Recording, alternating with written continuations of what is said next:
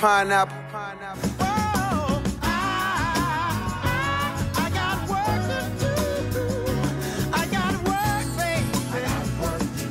Nok om. Smoothie. Ja, tak. Og den var sund, den her. Den er rigtig, rigtig sund, avocado her.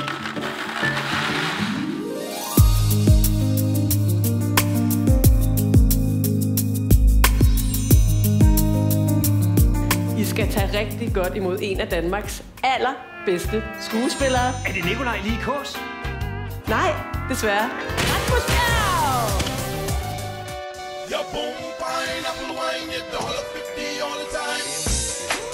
Kan han spille et dyr på sit hoved, spørger vi. Når vi nu sænker denne 8 år gamle hund med navn Stanley ned. Her er vi. Godt at se dig. Uh, vi vil gå igennem nogle forskellige uh, scenarier. Selvom vi er små, er vores familie rigtig stor. Brug eventuelt et spejl til at tjekke dine modermærker, hvor du ikke kan se dem. Har du et spejl? Et spejl? Ja, fordi jeg sidder... Husk at tjekke dig selv. Bare sørg for at gøre det derhjemme. Skål. Og aldrig på første date. Jeg synes, den kage vil alt for meget. Det er fuldstændig ligesom tapas. Der er for mange forskellige ting, Rasmus, på den kage der. Tapas.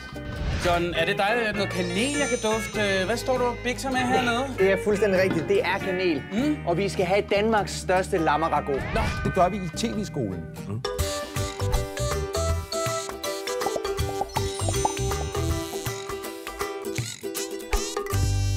Så er der kul. Perfekt. Og så de gode venner, der sætter virkelig stor pris på hinanden. Jeg synes aldrig, man kan give det peber nok.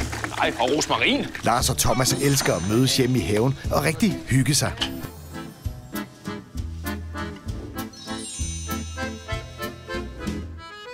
Ja, okay. Det, det er sjovt. Det fungerer. Michael og Anders elsker at mødes i haven og genskabe historiske øjeblikke. Vi har altid det samme flag med. Svært at sige. Okay. Og at det ikke foregår på din arbejdsplads. Morgen. Og slet ikke i kantinen. And then you can have your own little jingle on this uh, uh, USB uh, stick. Oh, that's... Oh, okay. Yeah, It's a that was uh, Rufus is Rufus on fire quiz. Her bliver en juletradition. Vi gør præcis lige det, som vi vil. Vi spiser and uden tilbehør til. Vi går om træet, mens vi synger. Kære dansker, hvis du ser dette, er jeg enten afgået ved døden, sikkert umiddelbart efter en eller anden kulturløs jihadist har råbt Allahu Akbar, eller også er jeg forsvundet. Begge dele efterlader dig, kære dansker, i en langvære situation. Skal vi... Skal vi Ja. Her er Robert og Brian. Robert og Brian er kollegaer, men de er også virkelig gode venner. Mm. Robert og Brian elsker at slappe af og drikke drinks ved poolen. Den er god. Det er noget marokkansk mønt, er det ikke det? Det er da lige præcis det der. Ja, det ja. Den har sådan lidt smag af... Og det er den kop, du kan vinde, når vi skal spille stokquiz.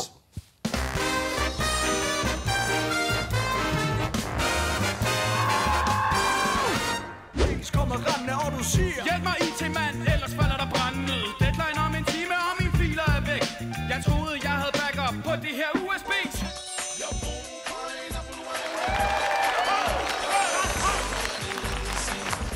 Lad mig fortælle jer en ting. Det mindst kontroversielle, vi nogensinde har præsenteret. Ja, det er det. Driving Home for Christmas.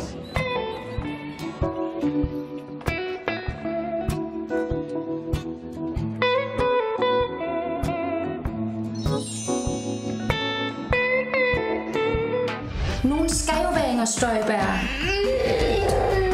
I flygtningespillet er du den danske regering. Listen all around you can hear Komikers børn de har et særligt behov og et særligt energiniveau, som kræver en lidt anden form for pædagogik, end den man måske normalt ser i den danske folkeskole.